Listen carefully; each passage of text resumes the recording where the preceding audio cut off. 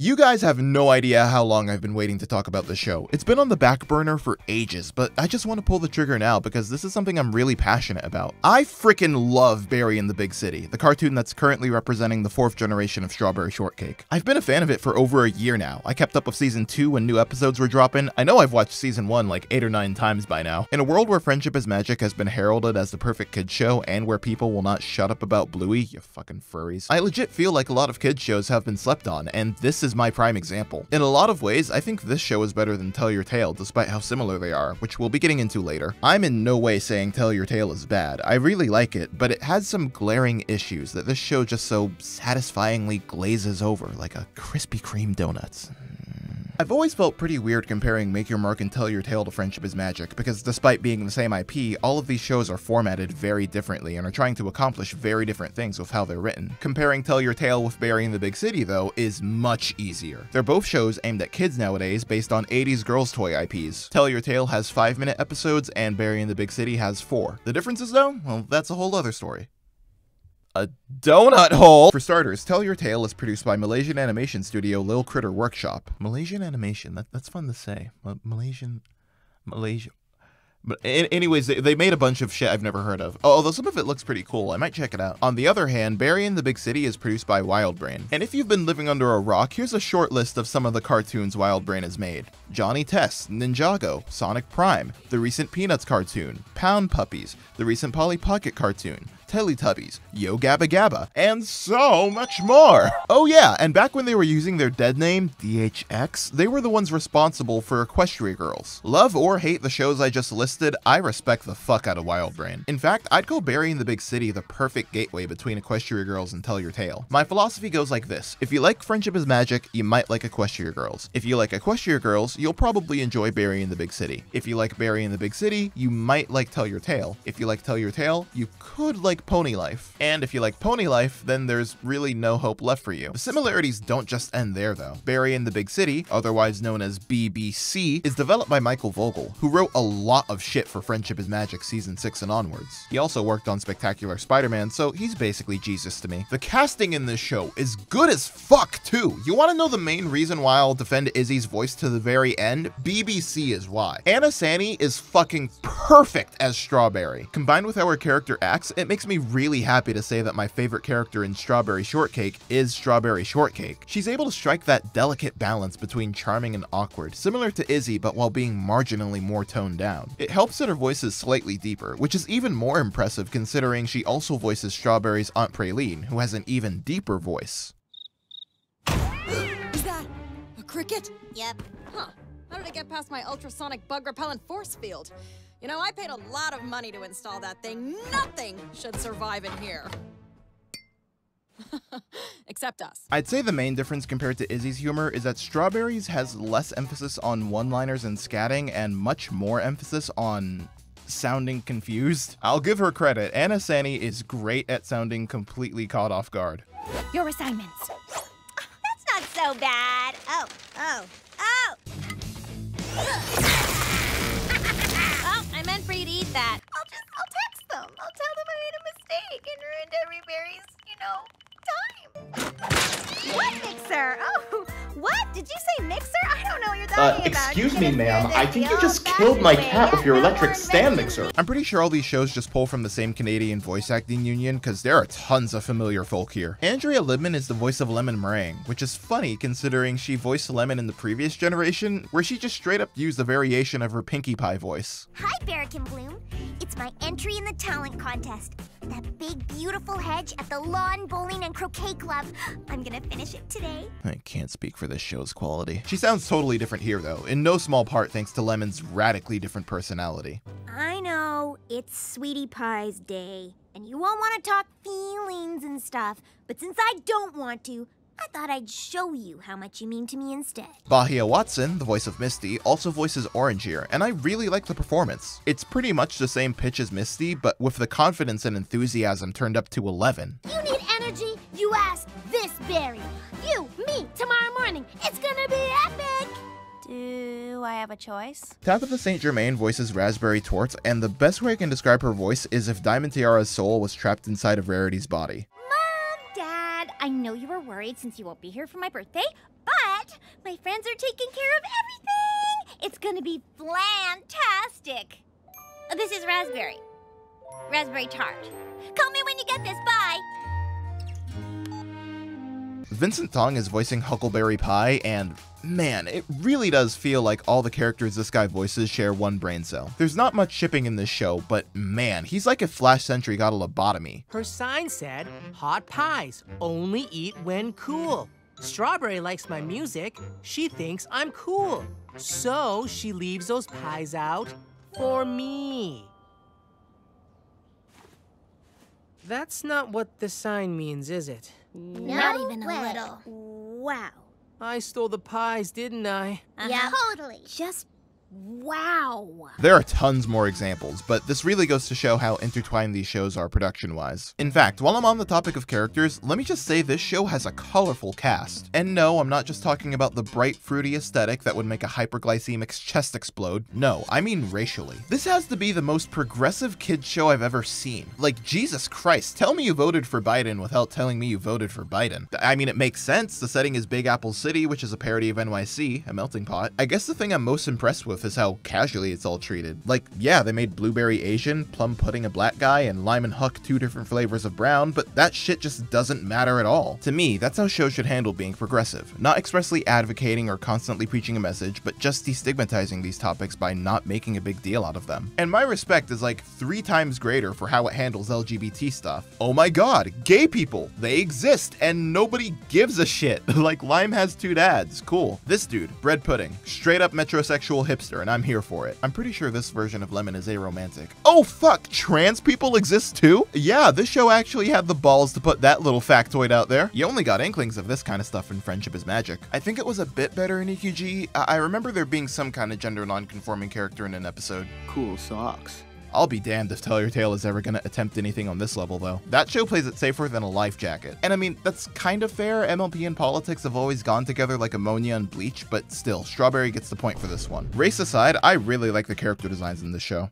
Okay, let me rephrase that. I really like the main character designs in this show. For background characters, a lot of the time they'll just race swap an already existing one. It worked for ponies, but it's pretty distracting at first seeing the same people wandering through this whole ass metropolis all the time. Also, some of these background character designs are just God no, what am I looking at? Kill it with fire, please! But uh, the, the main character ones are appealing. You can pretty much tell what all of them are about by a glance, but there's still so much more to them beyond that. By my standards, they are entirely three-dimensional, which is majorly appreciated. Also, this is my chance to say fuck you to Berry's Bitty Adventures, you fucking atrocity. In the 2003 show, the character designs were pretty decent, especially in season 4 when they were aged up and they looked really fucking cool. But here, nah, shit, they should have called it Strawberry Shortcake Copy Paste Adventures. Look at what you did to my homegirl Orange!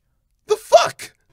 I think it's safe to say that this is objectively the best Strawberry Shortcake cartoon ever, which I realize isn't saying much, but you know what I mean. In, in my opinion, this is doing the same thing that Friendship is Magic did for MLP, specifically in terms of writing. A lot of these episodes are written really fucking well. So far, there haven't been any tug at your heartstrings episodes or ones that deal with super serious topics that'll make you go, wow, this is a kid's show? Oh my god. No, they're mostly just funny. There's an excellent balance between what's being said, the way the lines are delivered, and the comedic timing that just makes some moments hit, you know? Hey, Strawberry, do you have any? Oh, no. Shh. Living It's okay, Orange. Most artists don't get the respect they deserve until they're dead. And last but not least, smile, be yourself, speak from the heart, and you'll be perfect. You get all that? Uh. Oh yeah, this show also does berryisms in the same way that modern MLP does ponyisms, saying words like every berry, flantastic, oh my gumdrops, stuff like that. I've honestly grown completely numb to it. If you can handle every pony but you can't handle every berry, I'm gonna call you a goddamn hypocrite. I also just love the stories, and this is probably my biggest criticism with Tell Your Tale. The story outlines in it aren't bad by any means, but I always feel like they're kind of rushing through them. To me, Tell Your Tale episodes need to be like double the length to actually be close to reaching their full potential. Otherwise, they can feel a little half-baked. They usually have inorganic exposition, a rushed rising action, a super chaotic climax, an okay falling action, and a good resolution with an obvious moral. Also, a lot of jokes just aren't as funny as they could be, probably because they require more setup and or more pause for emphasis. I don't know why this is the case, both with Tell Your Tale and Make Your Mark, but the editing on the voices is legitimately bad sometimes. Often, characters will talk immediately after each other, even after saying a punchline. To my knowledge, that really only works with dry humor, otherwise it really fucks with the comedic timing. With Berry in the Big City though, these have been total non-issues. Most of these stories just feel so perfect when confined to 4 minutes. They're mostly those kinds of plots that involve being presented with an issue and then going beat by beat, or sometimes character by character, trying to come to some kind of resolution, be it a learning experience or a solution to a problem. I usually dislike those kinds of episodes because I think the structure is too predictable to be stretched into a 20 minute time frame, but again, that's a non-issue here. I never feel like my time is being wasted. When they don't follow that plot structure though, they're still really good. Oftentimes, they feature an antagonist that lasts for the entire season. Oh my god, Raspberry Torte is basically just a better Diamond Tiara. They have episodes dedicated to letting Strawberry sympathize with her instead of just having her be a straight up mean girl bitch berry all the time. And guess what? They actually keep her around to develop her character even after she settles her differences with her rival. Fucking Diamond Tiara and Silver Spoon wish. It's worth mentioning that this show also uses mockumentary style cutaways like The Office and Modern Family. If you don't like those, then not gonna lie, I think you might find this show pretty annoying, but I think they're really useful for quickly and naturally giving exposition, changing scenes instantly, and emphasizing certain jokes. Morning, Shortcakes! Get dressed and get a move on! This was a mistake. Should have. I'll also give BBC credit for not constantly blasting background music. Like, it's there, don't get me wrong, but it's much less loud and much more subtle than it is in Tell Your Tale. And I like the Tell Your Tale background music, but it's not exactly situational. It has too steady of a BPM, and like I said, it's way too loud. And if I've learned anything in my time editing, it's that music is usually a distraction for weak writing. Same principle as like audience laughter in sitcoms. However, if I was to criticize something about this show, it would be the music. Akin to all the other FIM similarities, this show has Daniel Ingram doing all of the main vocal tracks, and they mostly range anywhere from good to okay, mostly okay. I remember really liking the theme song, the Ordinary Berry song, the Frightfall song, and especially the Purple Pie Man song. Everything you've ever wanted, make your dreams come true. Oh, everything you've ever wanted, make your cake and eat. Lots of songs are just annoyingly catchy too, like Huck's first song or Lime's. I'm mostly lukewarm about the other songs though. They're not exactly memorable to me, but I also think that might just be because I'm not a big fan of Daniel Ingram's more traditional stuff. I think the best I've heard from him were the solo songs in the latter half of Equestria Girls. But then again, I also think that G5 just has the best music out of all of these shows. I fucking love the Make Your Mark and Tell Your Tale albums, but the songs are so short in the actual episodes, and they're usually not integrated that well to be honest. Most of them don't really have a few bars that play at the beginning before the vocals kick in, so a character will just be speaking and then all of a sudden start going, You can call me evil, but the music integration in Strawberry Shortcake is objectively better, that much is true, but I'm not a big fan of the musical episodes. If you're just binging the show on Netflix, then you might be caught off guard by how many songs you're hearing so close to each other, but you gotta remember that these 4 minute episodes were released on a weekly basis, so the frequency of the music does make sense on paper. That said, it's a little disappointing when I'm all geared up to watch a new episode, I'm ready to enjoy whatever the writers have been cooking, and then all of a sudden I'm Ingrammed and the episode's like 75% music. Sometimes though, a musical episode will actually be the first half of a two-part story, which makes sense. Yeah, I have to wait a little longer, but that just makes the story bigger. Also, this show has two-parters! Why Tell Your Tale has not had any two-part episodes yet is beyond me. It would be the easiest solution to the episodes feeling too underbaked. It's stuff like this that makes me happy to know that we're getting those full-length Tell Your Tale specials, purely because this has far and away been the thing that's prevented me from fully enjoying the show. Oh yeah, speaking of which, Berry in the Big City is going to be getting a special later on for Halloween, and it looks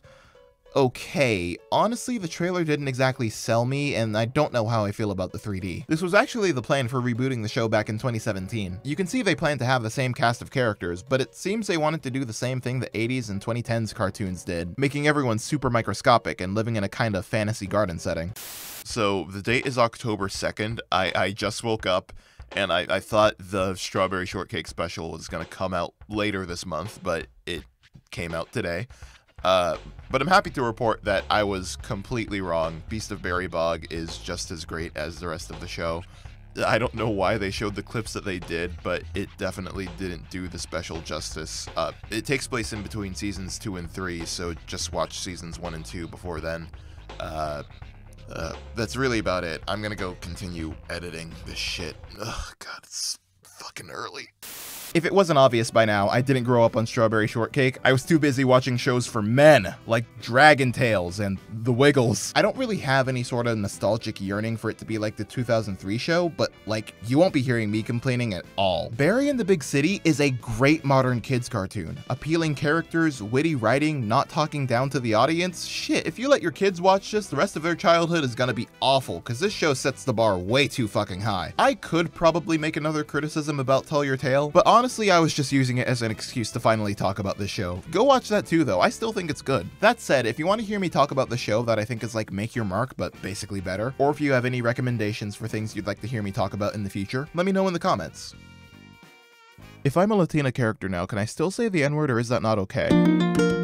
Special shoutouts to my patrons Uncle Graph, Space Cat, Lil Mighty, Sylve, Justin Surface, Confounding Outlier, Isaiah Badala, Malachi Beetle, Silver Blaze, Wumbo Kodat, Hey It's Jay, Just a Raccoon, and Tapeface YT. I'm sorry this one took so long. You down, down, down, come back up, up, up. You know that I got you even when it's tough. If you down, down, down, come back up, up, up. Never on your own, cause you got us. If you down, down, down, come back up, up, up. You know that I got you even when it's tough. If you down, down, down, come back up, up, up. Never on your own, cause you got us.